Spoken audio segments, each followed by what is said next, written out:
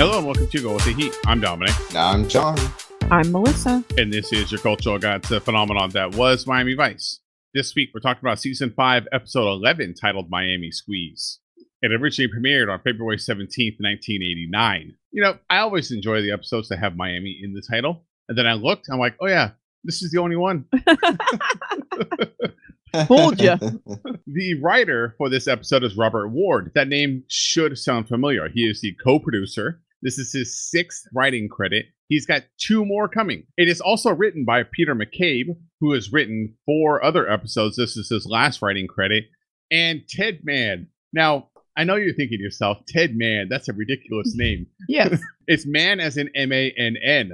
Uh, Oh, uh, so related. that might be maybe. something, you know, Michael Mann. Michael's less responsible little brother or something, you know. Gotta get him a job. Well- Mom won't leave me alone. Come on, Ted, you're going to work with me. according to what might be a fake person, but probably not Ted Mann. Aside from his funny name, he also wrote a lot of a lot of stuff. He won an Emmy for writing for NYPD Blue, Ooh. Yeah. Huh. and he also wrote something called Disco Beaver from Outer Space in 1978. Well, I think we have to find Yes. that for research purposes. I need to see Yes. Disco Beaver. And I- it's from outer space, not just a regular Disco Beaver. it's a space one. Yeah. A beaver from outer space. Not just a regular beaver. Not a regular one. the director on this episode is Michelle Manning, who also directed Fruit of the Poison Tree, and also like one of two female directors to ever direct anything for Miami Vice. I, I just want to clarify. So you wouldn't watch a movie about a regular disco beaver. No, no. It's got to be the outer space one. I don't got time for regular ones. regular disco beavers are too common. yeah, that's boring. Well, speaking of movies that Melissa watches. All right, John, like I mentioned, we actually have two bands you've never talked about before, which is a total 180 from what happened last week, where the music guests included someone who was the only music in an episode. What do you got for us this week? Yeah, thankfully, we've got some original artists. Even more. What What's fantastic too? This is the only time I will have to talk about them, so we can actually just talk about them, and I won't have to try and make up something later. we start out with "Working on It" by Chris Ray or Ria. He's a British rock and blues singer, uh, singer and songwriter. He's known for his husky, gravelly voice and his slide guitar playing. Slide guitar, sign me up. He's one of seven kids. He's from Middlesbrough, uh, and the actually the the Ria or Ray or or whatever you pronounce his his last name. Actually, kind of famous that area for Camilio's ice cream factory and cafe chain, which his family owns. Ice So- cream too? yeah, ice cream factory and cafe chain. And he actually did, thought about not going into music. He was going to work in the family ice cream factory, which I mean doesn't seem too bad. He ended up going into music at age 21 or 22. He bought his first guitar, and this was in 1961. So he actually got kind of a late start in music. He uh, he he claimed to be self-taught, and he almost joined his friend's band at the time called the Elastic Band. But his dad convinced him that it wasn't that they weren't going to pay him enough money, and talked him into coming back to the old ice cream family factory. Ice cream, that's where the money's at, not music. Exactly. Eventually, by 1973, he would join a band called Magdalene, uh, and the lineup would include David Coverdale, who would later be a member of Deep Purple. Pretty quickly, he took over writing their songs, eventually singing, as their singer just kind of stopped showing up. so he would go on there and form his own band called the Beautiful Losers in 1975. They would receive Melody Maker's Best New Newcomers Award. And even though it may not have lasted with the band, it did help him help him secure his first solo record deal. He would sign with Magnet Records, and ultimately the Beautiful Losers would split up in 1977. But in 1978, he would release his debut album, What Happened to Benny Santini, which would have his first single, Fool If You Think It's Over, which is actually like his biggest hit. It would peak at number 12 in the US, one of his only songs to really chart in the US on the Hot 100 and would be number one in adult contemporary singles. Also happens to be the only song that he did not play guitar on. Take him a few years to get back to his uh, blues roots, and then by 1983, he would start to find success in Europe and in the UK, but not really break, th- but he wouldn't break through to the US again for a while. From 83 to 2000, he just released albums, and all of his albums were pretty successful, selling, you know, millions of copies.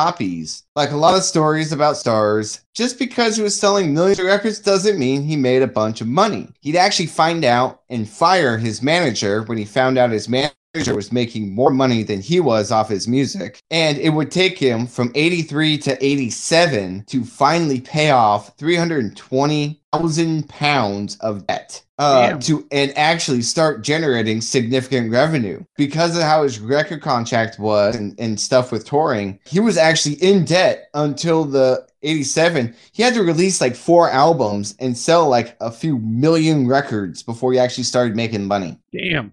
and you know what's crazy is that there are so many stories that are like that too. Luckily for him, that he would continue to be relevant. This song in particular, working on it, that was released on 1988's New Light Through Old Windows, would be his first song to chart in the U.S. in a freaking decade. His next album, Road, uh, The Road to Hell in '89, would be massive in the U.K. Things would get better for him financially, and he that he would continue to go on. His 93 album Espresso Logic not only hit the top 10 in the UK, but it was promoted in part with uh, Rea taking part in the British Touring Car Championship. Now, ultimately, he'd be eliminated in the first round, but this wouldn't be the only time. Uh, turns out he's a big Formula One enthusiast. Uh, so like he's written songs for for like for like their opens and stuff, and he's also shown up in, in a couple pits of a few drivers as well. In 2000, he would be diagnosed with actually pancreatic cancer.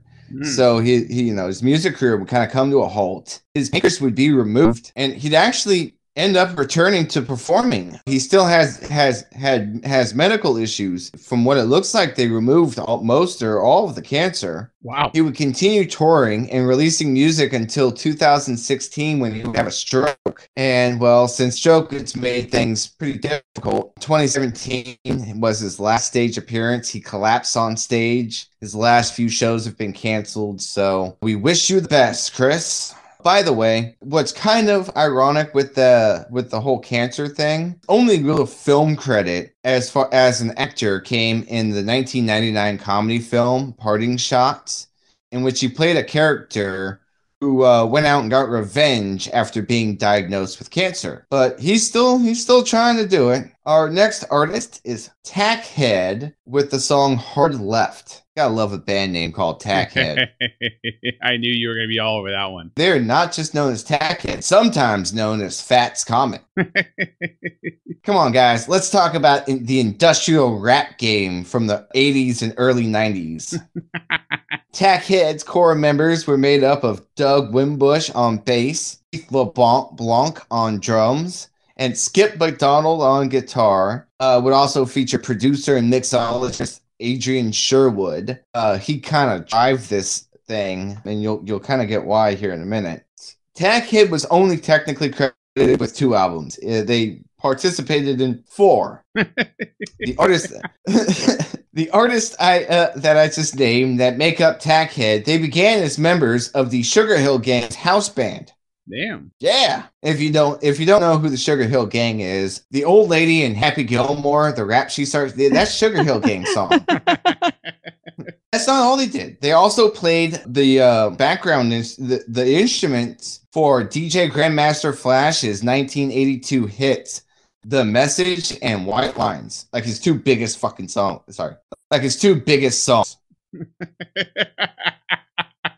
oh, the shock on Melissa's face. Did he just? We're talking about Grandmaster Flash. It's the Just dropped message broken glass everywhere. So they started out as studio musicians, and like a lot of people, they looked at the musical acts they were working with and kind of looked at each other and like, "Hey, man, we could kind of do this." So while they were on a trip to New York, they met London based producer Adrian Sherwood. Sherwood would hit it off with them and start working with them, pretty much using them as session musicians. They created the Tackhead Band, but their first project would be Mark Stewart and the Mafia, featuring Stewart, who was formerly of the Sherwood group, the pop group, they would really release one LP with Stewart under that name called As the Veneer of Democracy Starts to Fade, which just sounds terrible, guys. Come on. the album would be described as a, a scary mess of random sounds, spoken word, and a tiny snippet of music processed and distorted to a grating electronic edge, which just sounds horrible. they would go from there and join forces with Gary Clail, who was a touring MC, and release another LP called Tackhead Tape Time, this time under the guise of Gary Clail's Tackhead sound system. Still studio musicians, guys. Like you're still not the main the main guys. They would have their their first official Tackhead album, just them, would be called Friendly as a Hand Grenade. They would enlist vocalist Bernard Fowler to join the group, followed by a 90s, oh, uh, 1990 world tour. We're starting to make some headway. Now we're starting to get some of our own fame. They would follow that up with the album Strange Things, which some people would say uh, was a little bit here, but ultimately would not be well received critically and they would be droppable. The members would go on uh, to continue as session artists or Sherwood uh, Sherwood's artists over the next decade or two, as well as playing in different bands themselves. Like one guy started his own record label, and he also plays in a couple jazz bands but like nothing major. Like they never really hit it big after that, but they've been they've contributed to some other stuff. But that is the story of Tackhead, or otherwise known as Fats Comet. So, well, Tackhead ended up going a different direction than what I thought it was. It didn't turn out to be industrial rap, not in not industrial grunge.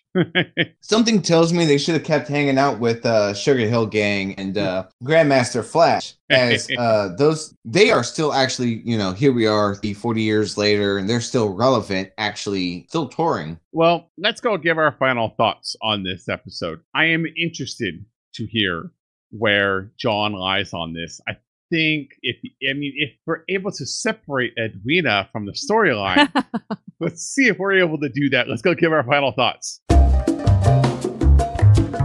And that's going to do it for us this week on Go with the Heat. We hope you enjoyed this episode. We would love to hear from you. Email us go with the heat at gmail.com. I am not playing with you. Want to hear from you. email us. Go with the heat at gmail.com. Let us know what you thought about this episode. Let us know what you think about Sonny's therapy sessions. Let us know about Edwina. Dog murderers. All of them. It's a dog murders. Email us, go with the heat at gmail.com. Be sure to check out that website, go with the heat.com. Click on support, find all the ways to support us. Click on subscribe, find all the ways to find the show. Speaking of support, we would love your support. Support step number one go to your podcatcher platform of choice and leave us a review. Go ahead and give us five stars. You know the drill, five stars. Do it this time, though, please. iTunes in particular, if you use that platform. But don't write a review. No one ever reads the reviews. Instead, write a eulogy to Edwina. write about how great of a dog Edwina was, and write it right there in the review of the show. Support step number two: check out that Patreon, patreon.com/slash Go with the Heat. We'd love to see your support on that as we're racing towards the end of this show, and you know more hints coming out about the reboot of Miami Vice. So you know you want to keep your humble Miami Vice mm-hmm. podcasters. Mm-hmm. And we accept all different types of currencies. You got loonies? Well, we accept loonies. Screw that humble stuff. We're the greatest Miami Vice podcast on the internet. There is no one that has done a better podcast about Miami Vice than us, considering there's only one other podcast. So this is all you got. This is the number one Miami Vice podcast on the internet. We would love to see your support. We really appreciate everyone that listens to this show. So like the kid. Support step number three, email us, go with the heat at gmail.com. Let us know what you thought about this episode. That's going to do it for us this week. We hope you enjoyed this episode, and we'll see y'all next time. Bye, pals.